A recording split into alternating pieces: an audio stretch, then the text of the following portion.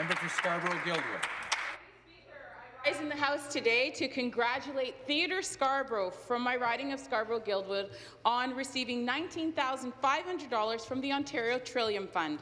The grant has provided Scarborough Village Theatre with a new hearing loop system, making it the first and only community theatre of its kind in Toronto.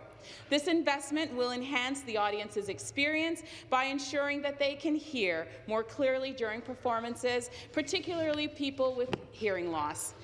Theatre Scarborough has produced three has three producing companies that will benefit from the new hearing loop system: Scarborough Players, Scarborough Theatre Guild, and the Scarborough Music Theatre. I had the opportunity to experience the new system at the Scarborough Players' 60th anniversary opening night performance of Noises Off. The production was hilarious, entertaining, and well-produced. I'd like to say thank you to Catherine Turner and the Scarborough Players president, Chris Wakeline, for the invitation. I had the opportunity to speak with the producers of Noises Off, Elaine O'Neill, and her lovely daughter, Grace.